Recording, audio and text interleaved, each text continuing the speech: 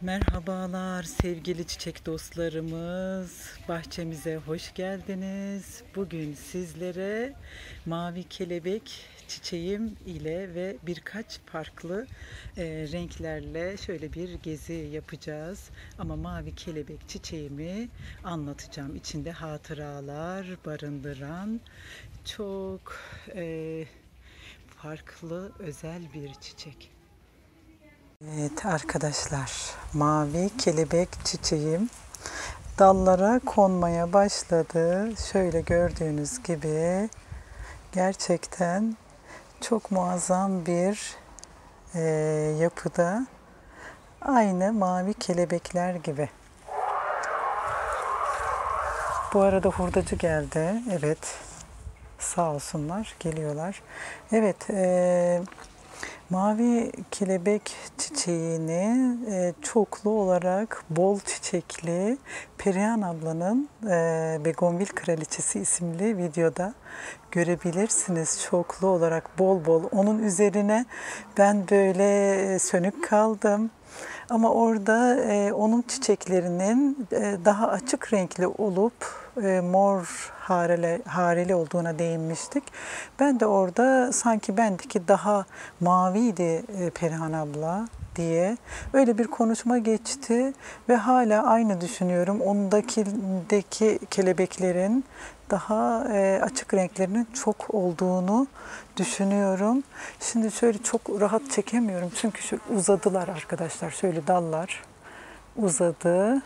Özellikle üç dal şöyle bir bakarsanız arkadaki e, abutülonları daha iyi görüyorsunuzdur muhakkak arka planda.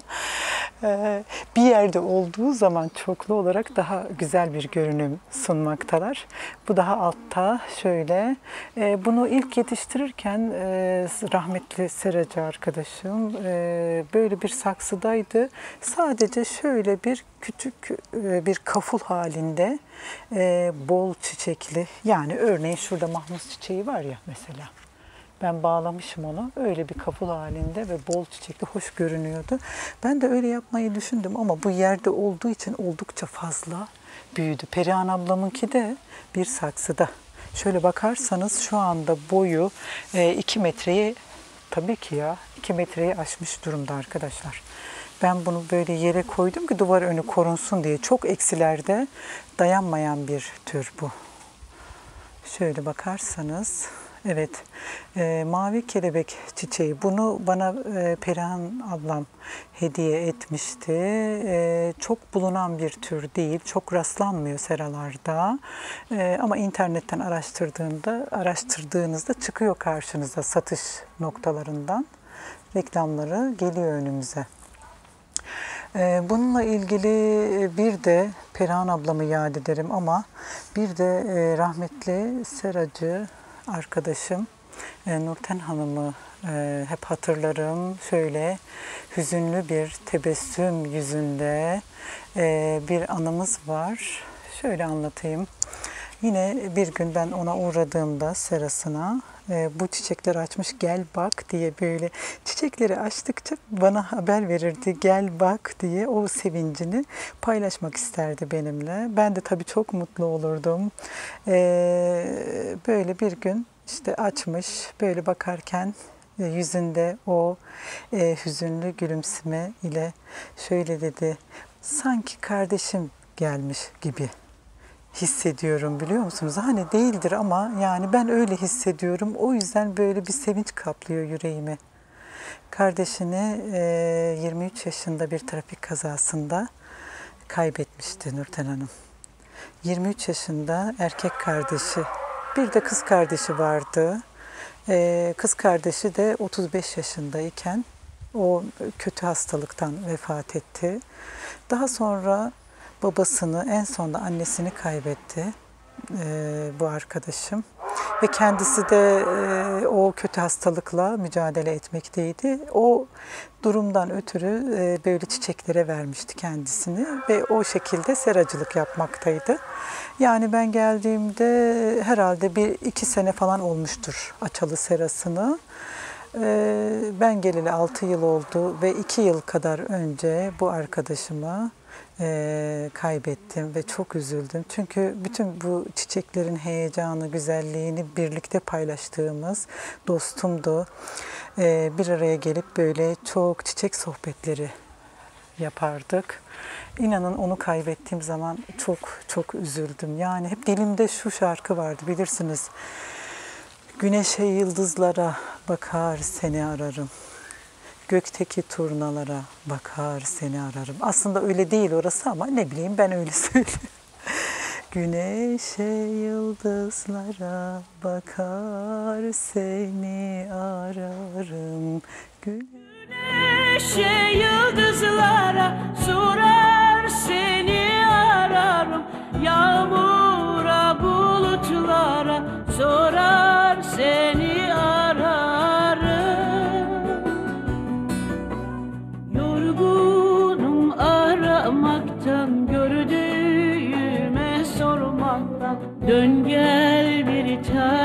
dön gel Bazı şarkılar çok güzeldir, türküler böyle iz bırakır.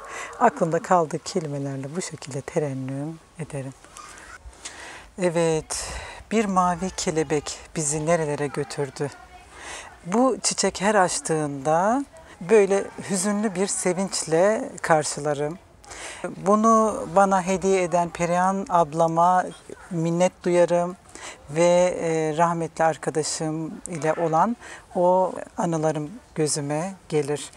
Bu çiçekle ilgili bilgileri de ben vereyim biraz size. Bir Clerodendrum türüdür. Adı Clerodendrum ugandense olarak geçmekte.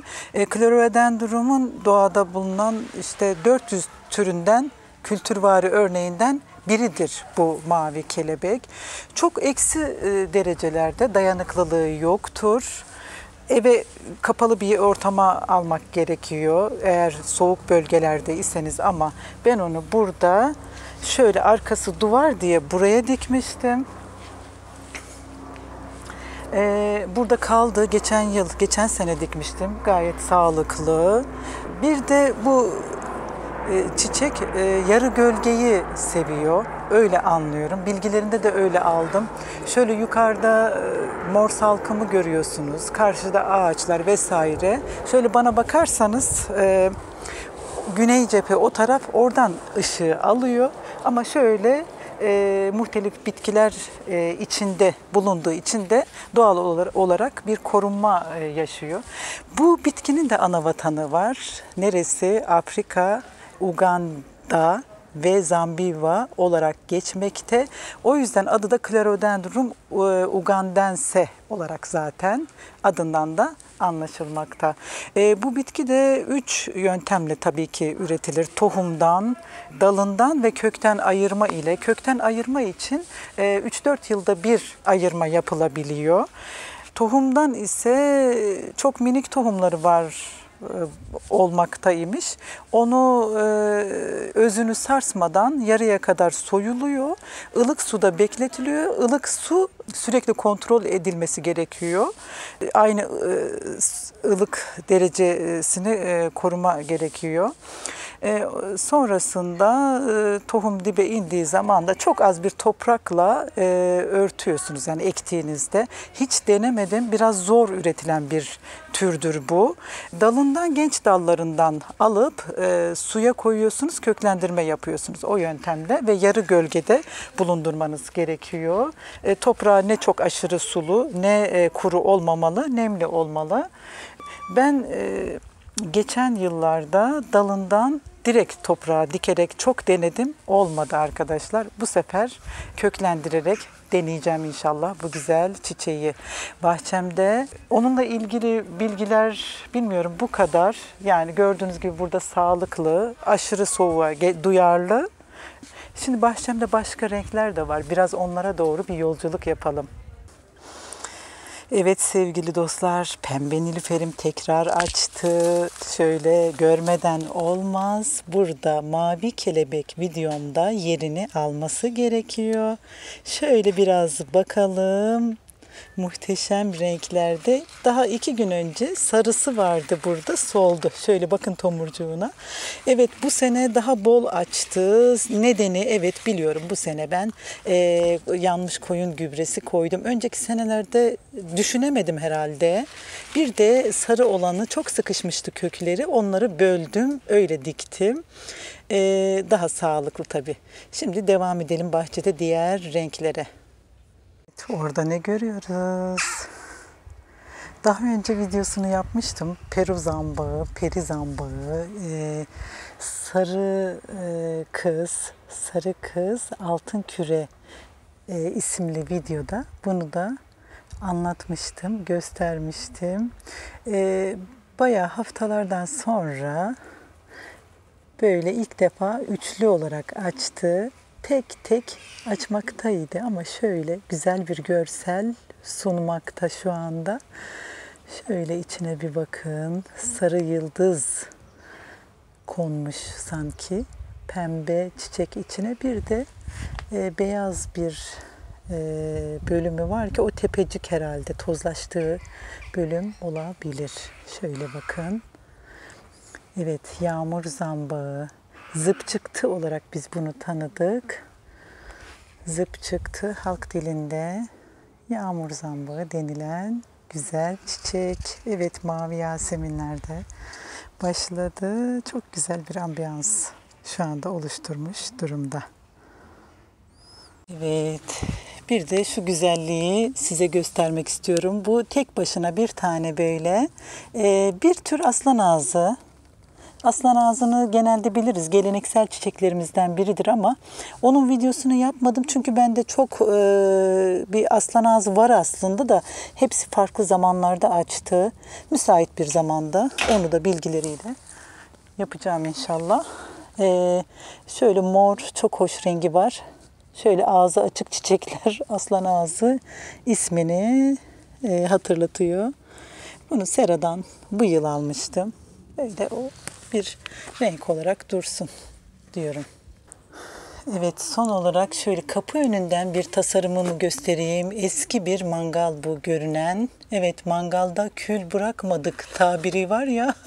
Tabii biz bunu böyle güzel bir anlama evirerek e, şöyle e, kullanalım dedik. E, eşevera e, sukulentini görüyorsunuz ve hemen e, yavruları var yanında. Şöyle ve e, kaynana topuzu açtığında çok e, güzel çiçekleri vardı paylaşmıştım. Bir de şurada e, koruma altında bir mili var. Dikenler tacı çiçeği. Hemen yanında hemen yanında yaramazı görüyorsunuz.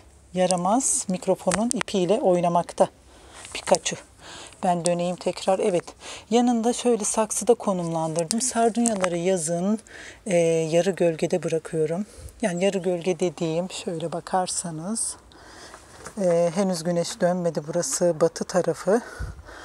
E, sardunyalar şöyle güzel açmış. Açmışken bir görün istedim. Harika bir renkte.